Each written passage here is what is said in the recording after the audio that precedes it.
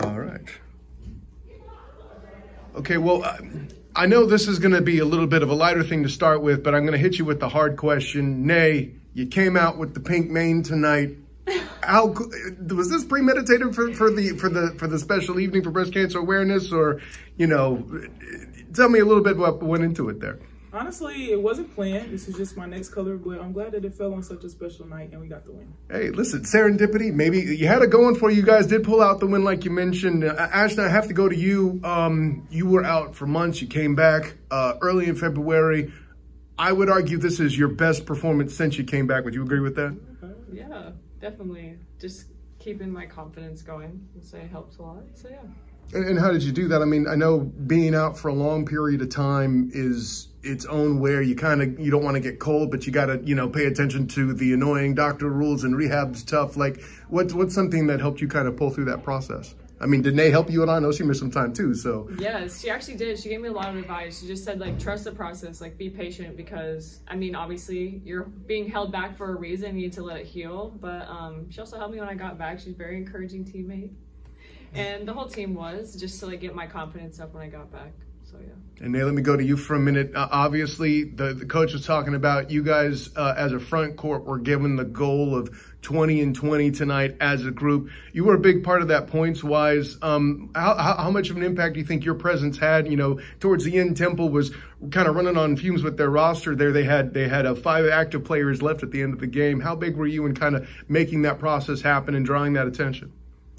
Honestly, um, I just wanted to do anything to get the win. We needed this one bad. Um, wanted to get into their heads. I didn't. We didn't really like how they treated us when we were at their home court, so we just owed them one, and um, we just took advantage of what they had. Honestly.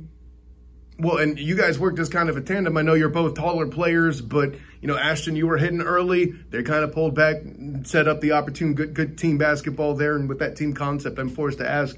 Taylor Gibson tonight comes out, has 10 boards herself.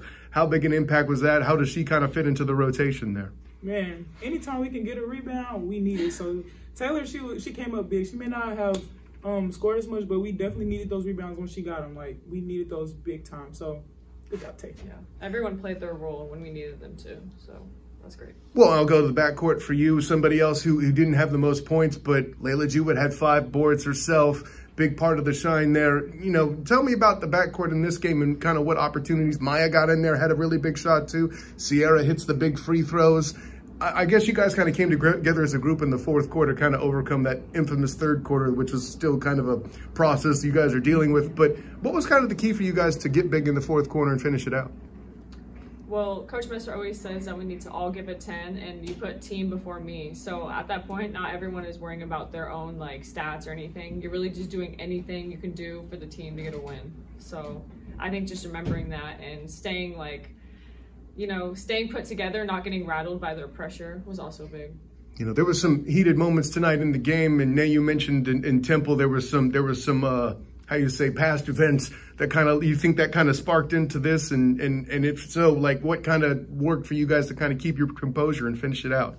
Um, we just played with a chip on our shoulder. We had something to prove today like i said. Um, we didn't appreciate how one of the players like treated us. So just to get back at them um, and send them back to philly with an l is great be interested to see that game come up in the tournament possibly.